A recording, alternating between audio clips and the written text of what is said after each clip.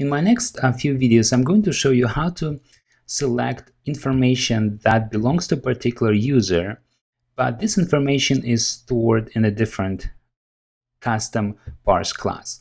So for example, I have a user table or users class, and this class stores all the users that are registered in my mobile application. And I also have a class called books. And this class stores a list of books that belong to this and many other different users. And my application needs to display a list of books that belongs to one particular selected user. So uh, one user has one or many books. And um, this is also a demonstration or how to implement one-to-one -one or one-to-many relationship um, in your application that uses parse. One user can have one book or one user can have many books. And this can be applied to uh, many different uh, use cases. For example, you might be building a music application and then one user can have one or many playlists and one playlist can have one or many music uh, items associated with it.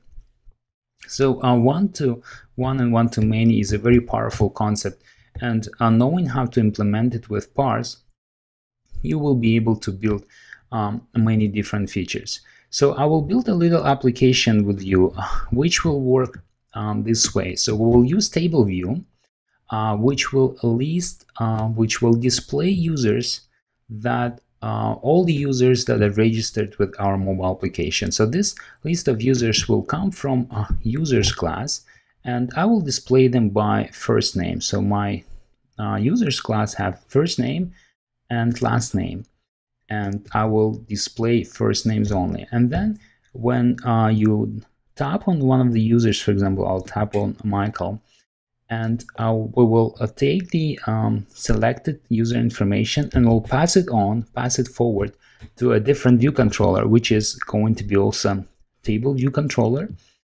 And uh, this information will um, be displayed already from uh, books class. So we will look, uh, we will query books class for uh, books that belong only to this selected user. And uh, once we uh, tap on the uh, book, um, one of the books displayed, we will also list down some details of that book.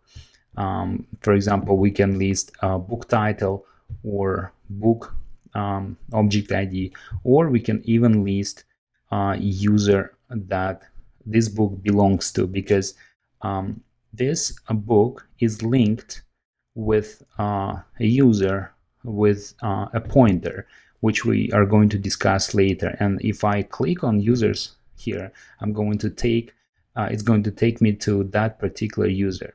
So uh, having access to this record, having access to a book record and the user's pointer, uh, we can uh, display uh, information about the user that owns this book. So a very simple example, but very powerful. We learn how to read information from parse. We learn how to implement one-to-one -one or one-to-many relationship in uh, parse. We learn how to use parse pointer and we learn how to pass information forward from one controller to uh, another view controller. We learn how to build uh, table view and how to build table uh, view uh, controller, which is this one. Um, and um, so one uh, little example, but many uh, useful um, tips in it. Okay, so uh, let's continue now.